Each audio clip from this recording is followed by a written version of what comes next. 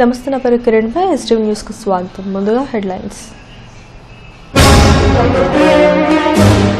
అనేక మలుపులు తిరుగుతున్న జగన్ హత్యాయత్నం కేసు నిందితుడి తల్లిదండ్రులు తోటి సిబ్బందిని విచారించిన సిట్. శుక్రవారంతో ముగియనున్న శ్రీనివాసరావు పోలీస్ కస్టడీ. దేశ రాజకీయాల్లో కీలక మలుపు తిప్పనున్న సీఎం చంద్రబాబు. రాష్ట్రాభివృద్ధి కోసమే బాబు ఢిల్లీ టూర్ అన్నాన ఆర్థిక మంత్రి యనమల. విశాఖలో మళ్ళీ రెచ్చిపోతున్న చైన్ స్నాచెస్. సీసీ ఫుటేజ్ ఆధారంగా దర్యాప్తు ప్రారంభించిన పోలీసులు. ఉక్కు నగరంలో ఘనంగా ప్రారంభమైన CITU all India working committee సమావేశాలు. జనవరి ఎనిమిది తొమ్మిది తేదీల్లో భారత్ బంద్ నిర్వహించేందుకు నిర్ణయం. తిరుమల శ్రీవారిని దర్శించుకున్న సినీ దర్శకుడు త్రివిక్రమ్. కుటుంబ సభ్యులతో వెంకన్న దర్శనం. జగన్ పై హత్యాయత్నం కేసు క్లైమాక్స్కు చేరుకుంది. ఈ కేసులో నిందితుడు శ్రీనివాసరావు జగన్ను హత్య చేయడానికే ప్రయత్నించినట్లు పోలీసుల వద్ద ఒప్పుకున్నట్టు సమాచారం. ముందుకు మెడకి గురిపెట్టిన ఆయన వంగడంతో భుజంపై వేటుపడిందని శ్రీనివాసరావు చెప్పినట్లు తెలుస్తోంది. పోలీసులు అన్ని కోణాల నుంచి ఈ కేసును దర్యాప్తు చేస్తున్నారు. SIT దర్యాప్తుపై report. విశాఖ ఎయిర్పోర్ట్లో జగన్ పై హత్యాయత్నం జరిగి సరిగ్గా వారం రోజులైంది. నిందితుడు శ్రీనివాసరావును కోర్టు ముందు హాజరుపరిచి పోలీస్ కస్టడీకి తీసుకుని విచారిస్తున్నారు. శుక్రవారంతో గడువు ముగుస్తున్నందున దర్యాప్తును కూడా వేగవంతం చేశారు. శ్రీనివాసరావు తల్లిదండ్రులను విశాఖకు రప్పించి ఎయిర్పోర్టు పోలీస్ స్టేషన్లో విచారించారు. ఎయిర్పోర్ట్లో తన ప్రియురాల కోరిక మేరకు జగన్పై సెల్ఫీ తీస్తానని ఒప్పుకున్న శ్రీనివాసరావు ఆయనను హతమార్చేందుకు ప్రయత్నించి విఫలమయ్యాడు. అయితే ఇది ఎందుకు చేశాడన్న దానిపై వివరాలు విచారణలో తెలిసి ఉంది. దీని వెనుక ఎవరున్నారన్న దానిపై సిట్ ఆరా తీస్తోంది.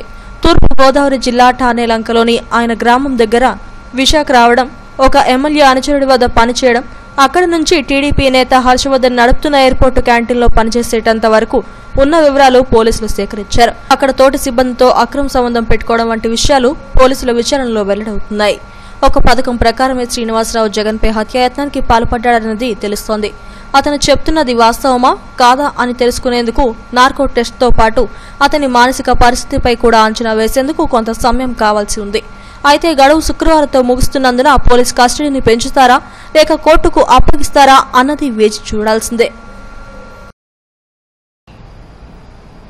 కేంద్ర ప్రభుత్వం ఉన్న బీజేపీ పార్టీ ఒంటెద్దు పోకడలకు ప్రతి ఒక్కరూ నిరూపించాల్సిన అవసరం ఉందని రాష్ట్ర అధికార ఆర్థిక మంత్రి యనమల రామకృష్ణుడు అన్నారు. ఎన్డీఏకు వ్యతిరేకంగా మహాకూటమిని ఏర్పాటు చేసేందుకు ముఖ్యమంత్రి చంద్రబాబు చేస్తున్న కృషిలో అందరూ భాగస్వాములు కావాలని పిలుపునిచ్చారు. అమరావతి నుంచి సీఎం హెలికాప్టర్లో ఢిల్లీ వెళ్ళారు. అనంతరం మంత్రి యనమల మీడియాతో మాట్లాడారు. రాష్ట్ర ప్రయోజనాల కోసమే ఎన్డీఏతో తెగతింపులు చేసుకున్నామని తెలిపారు. కేంద్రంలోని బీజేపీ ప్రభుత్వం తన రాజకీయంతో దేశాన్ని కబ్జా చేయడానికి ప్రయత్నిస్తుందని దీనిని వ్యతిరేకిస్తూ తాము ముందుకు వచ్చామని తెలిపారు. రాజకీయాలు ఆదరించి ఉన్నాయని రాష్ట్రాభివృద్ధిని దృష్టిలో పెట్టుకుని పార్టీలకు అతీతంగా కలిసి రావాలని కోరారు.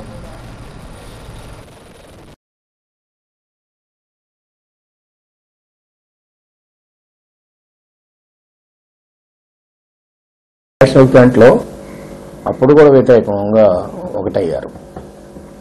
నేషనల్ ఫ్రంట్లో అందరూ కలిశారు కదా ఎవరు కలవాలని చెప్పమనండి.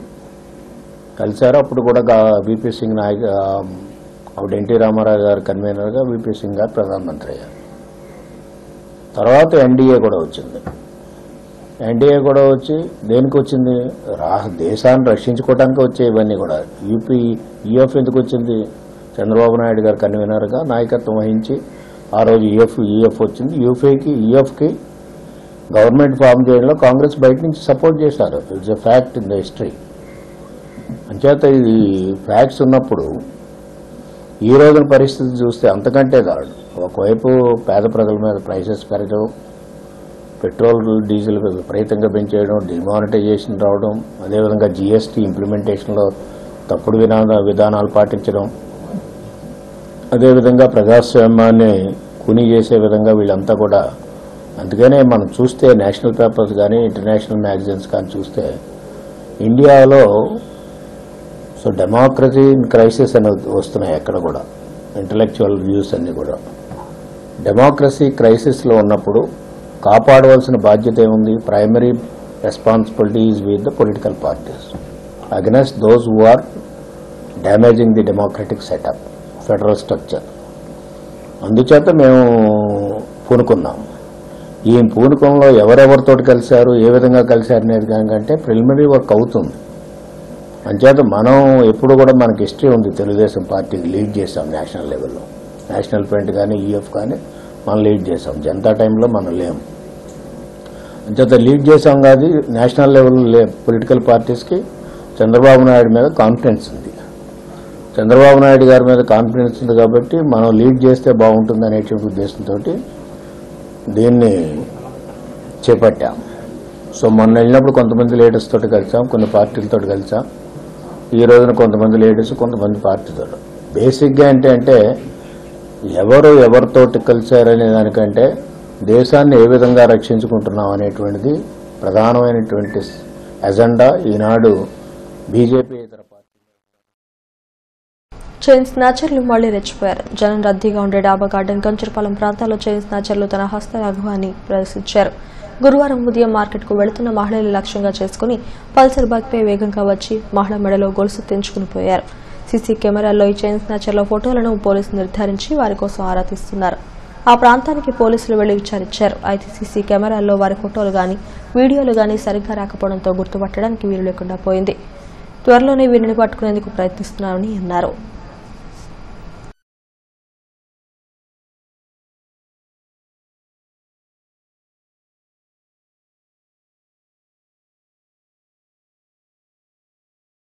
CITU all India working committee సమావేశాలు ఉక్కు నగరంలో ఘనంగా ప్రారంభమయ్యాయి. ముందుగా కేరళ వరద బాధితులు రైలు ప్రమాదంలో మృతి చెందిన బాధితులకు నివాళులర్పించి సభను ప్రారంభించారు. సిఐటియు వర్కింగ్ కమిటీ జాతీయ అధ్యక్షుడు పద్మనాభం సభలను ప్రారంభించారు. గతంలో ఎన్నడూ లేని విధంగా కేంద్ర రాష్ట్ర ప్రభుత్వాలు కార్మిక వ్యతిరేక విధానాలను అవలంబిస్తున్నాయని దీనిని నిరసిస్తూ జనవరి ఎనిమిది తొమ్మిది తేదీల్లో నలభై ఎనిమిది గంటల పాటు భారత్ బంద్ నిర్వహిస్తామని వెల్లడించారు. దీనిపై కార్యాచరణను ఈ సమావేశంలో చర్చిస్తామని తెలిపారు. ఈ కార్యక్రమంలో ఏపీ అమరావతి వర్కర్స్ కమిటీ అధ్యక్షుడు ఏఆర్ సింధు వర్కింగ్ కమిటీ అధ్యక్షుడు ఎంఏ గఫూర్ సిఐటియు రాష్ట్ర అధ్యక్షుడు నరసింహరావు తదితరులు పాల్గొన్నారు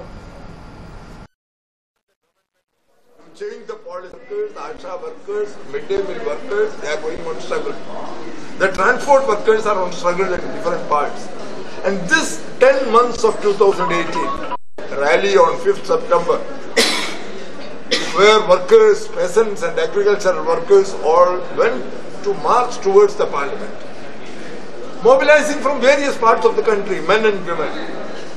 And here we are going to discuss about the future programs of action. It has already been decided through a national convention at Delhi that on 8th and 9th January there is going to be a 48 hours strike. 48 hours, all the industrial centers, service centers, Vijayawada AgriGold బాధితుల ఆందోళన ఉద్రిక్తతకు దారితీసింది. ముప్పాళ్ళ నాగేశ్వరరావుతో పాటు పలువురు బాధితులను పోలీసులు బలవంతంగా arrest చేశారు. తొలుత విజయవాడ పాత ఆసుపత్రి నుంచి ర్యాలీగా బాధితులు ధర్నా చౌక్ వద్దకు చేరుకున్నది.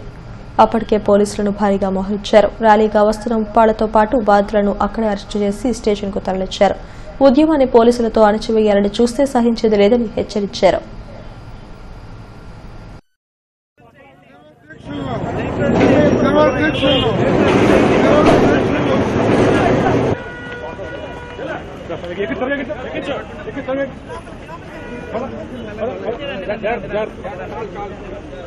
పోలీసులు దుర్మార్గం అరెస్టులు పోలీసులు దౌర్జన్యం. మేము టెర్రరిస్టులు కాదు. మేము పాకిస్తాన్ టెర్రరిస్టులు కాదు. మేము శాంతియుతంగా ముప్పై గంటల దీక్ష చేయడానికి ప్రముఖ సినీ దర్శకుడు త్రివిక్రమ్ శ్రీనివాస్ తిరుమల వెంకటను దర్శించుకున్నారు. కుటుంబ సభ్యులతో కలిసి వీఐపీ బ్రేక్ సమయంలో ఆలయంలోకి వెళ్ళి స్వామివారిని దర్శించుకున్నారు. హుండీలో కానుకలు సమర్పించి మొక్కులు చెల్లించారు. సందర్భంగా ఆలయ అధికారులు త్రివిక్రమ్ శ్రీనివాస్కు తీర్థ ప్రసాదాలను అందజేశారు.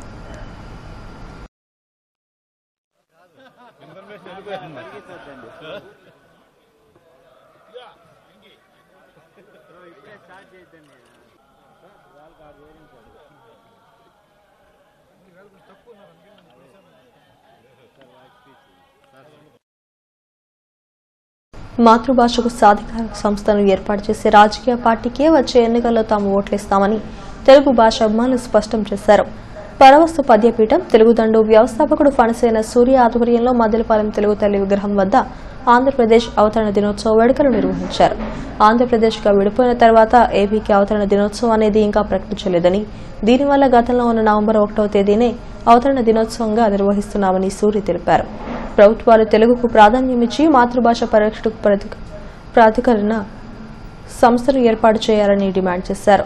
ఈ కార్యక్రమంలో ప్రజా గాయకుడు వంగపండు ప్రసాదరావు ఆలోపించిన తెలుగు గీతాలాపన అందరినీ ఆకట్టుకుంది.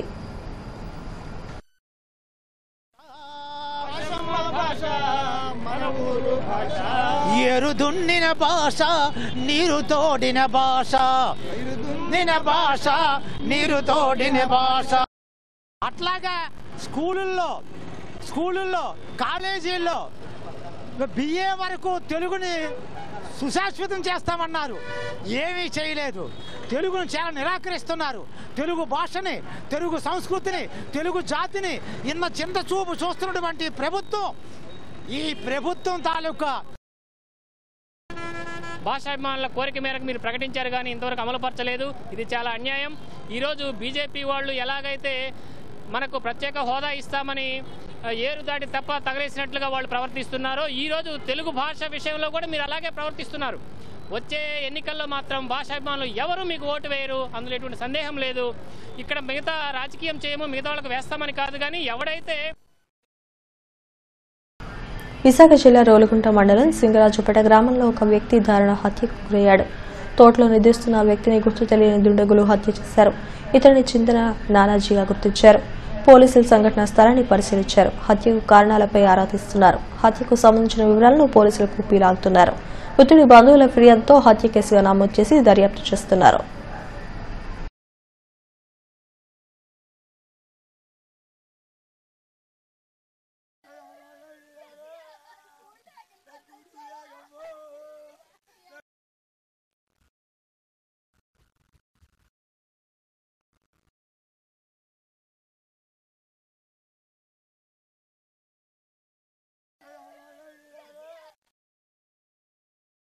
రాష్ట్రాన్ని అభివృద్ధి చేయనీయకుండా ప్రతిపక్షాలతో పాటు ప్రధాని మోడీ అడ్డుపడుతున్నారని రాష్ట్ర హోంమంత్రి చినరాజప్ప విమర్శించారు. విశాఖ జిల్లా చోడవరంలో పలు అభివృద్ధి కార్యక్రమాల్లో ఆయన పాల్గొన్నారు. చోడవరం ప్రభుత్వం ముప్పై పడకల ఆసుపత్రిలో రెండు కోట్ల వ్యయంతో నిర్మించిన నూతన భవనాలను ఆయన ప్రారంభించారు. కోటి యాభై లక్షలతో నిర్మించిన ఇండోర్ స్టేడియాన్ని ప్రారంభించారు.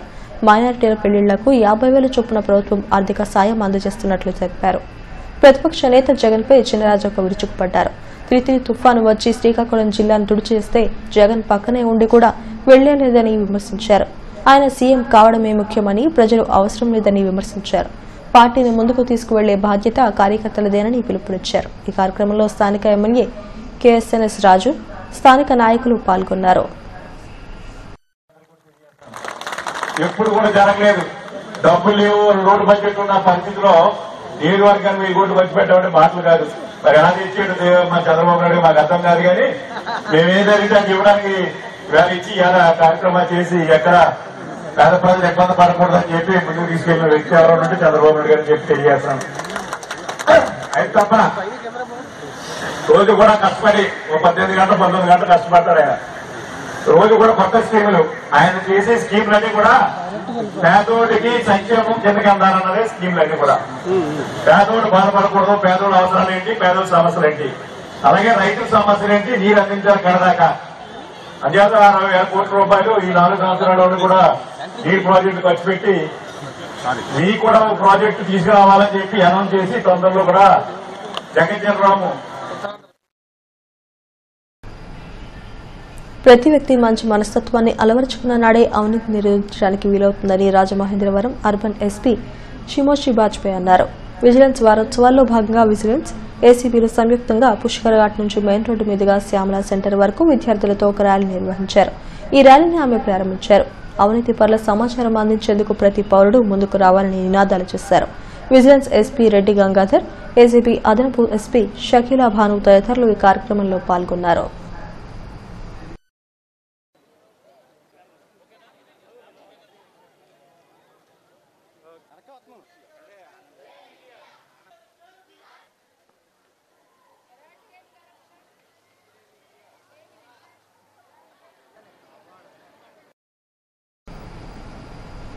మలయాళం కార్టూన్ ప్రారంభించిన వందేళ్ళు పూర్తయిన సందర్భంగా కేరళ అవతరణ దినోత్సవాన్ని మలయాళీ అసోసియేషన్ ఆధ్వర్యంలో నిర్వహించారు. పెద్దగంటాడులోని సంఘం కార్యాలయంలో కార్టూన్ ఎగ్జిబిషన్ కూడా నిర్వహించారు. ఈ ఎగ్జిబిషన్ను ఏసీపీ ప్రేమ్ కాజల్ ప్రారంభించారు. ఈ కార్టూన్ ఎగ్జిబిషన్ను రెండు రోజుల పాటు జరుగుతుందని తెలిపారు. ఈ కార్యక్రమంలో ధనపాలన్ తదితరులు పాల్గొన్నారు.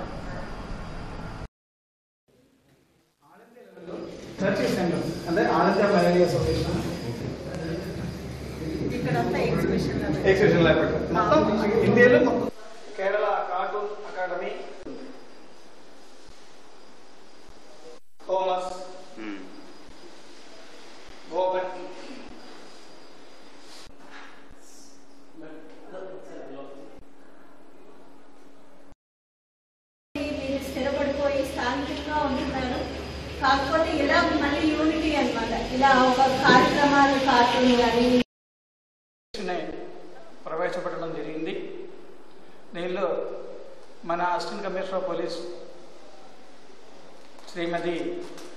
Prem Kajal madam inauguration చేయడం జరిగింది. ఇది ఇక్కడ నూటి ముప్పై ఐదు ఆవరణలో ఈ నెల మూడు నుంచి ఇరవైదవ తేదీ వరకు విశాఖ పుస్తక మహోత్సవ కార్యక్రమం నిర్వహిస్తున్నట్లు Visalandhra book house manager PA Raju తెలిపారు. పంతొమ్మిది సంవత్సరాలుగా ఈ పుస్తక మహోత్సవాన్ని నిర్వహిస్తున్నామని పంతొమ్మిది వందల నలభై మూడులో అభ్యుదయ రచయితల సంఘం దీన్ని ప్రారంభించిందని తెలిపారు. ఎటువంటి లాభాపేక్ష లేకుండా సాహిత్యాన్ని జాతికి అందించిన సంస్థ ఒక విశాలాంధ్ర మాత్రమేనని తెలిపారు. అరవై సంవత్సరాలుగా ఎంతో మంది కవులు రచయితలను లోకానికి పరిచయం చేస్తున్నామని అన్నారు. ఇరవై ఐదు నుంచి ముప్పై వేల రకాల పుస్తకాలు అందుబాటులో జరుగుతుంది. ప్రత్యేకంగా తెలుగు సాహిత్య రంగంలో శ్రీశ్రీ కానీ కుటుంబం కుటుంబరావు కానీ శ్రీపా సుబ్రహ్మణ్య శాస్త్రి కానీ రంగనాయకం చాలా రకరకాల పుస్తకాలు ఈ ఎగ్జిబిషన్ అందుబాటులో ఉండడం జరుగుతుంది. ప్రత్యేకించి గీతా ప్రసు రామకృష్ణ మిషన్ డివోషనల్ రకాలుగా అలాగే చిల్డ్రన్స్ సాహిత్య రకంలో పదివేలు రకాల పుస్తకాలు కూడా నవల్స్ కానీ పిల్లల స్టోరీస్ కానీ కర్సివ్ రైటింగ్ కానీ డ్రాయింగ్ బుక్స్ కానీ అన్ని రకాల పుస్తకాలు ఈ అందుబాటు ఎగ్జిబిషన్లో ఉంటుంది English collections Chetan Bhagat books కానీ ఎండమూరి వీరనాథ్ మల్లాది రామకృష్ణ పుస్తకాలు ఇలా రకరకాల పుస్తకాలు ఈ ఎగ్జిబిషన్స్లో ఉంటుంది ఈ ఎగ్జిబిషన్ అనేది నవంబర్ ఇరవై రెండో తారీఖు ఇరవై ఐదో వరకు ఎగ్జిబిషన్ నిర్వహిస్తున్నాను మార్నింగ్ పది ముప్పై నుంచి రాత్రి ఎనిమిదిన్నర వరకు ఎగ్జిబిషన్ కంటిన్యూగా జరుగుతుంది. ఈ ఎగ్జిబిషన్స్లో కాకుండా ఇంకా ఈ ఇరవై ఐదు రోజుల్లో కూడా మేము కొత్త కొత్త పుస్తకాలు తెప్పించేందుకు ఆస్కారం ఉంది. ఇంకా ఏమైనా కస్టమర్స్ కానీ ఇంకేమైనా కావాల్సిన పుస్తకాలు ఏమన్నా మీ ఎగ్జిబిషన్స్ టైంలో హెడ్లైన్స్ మరోసారి.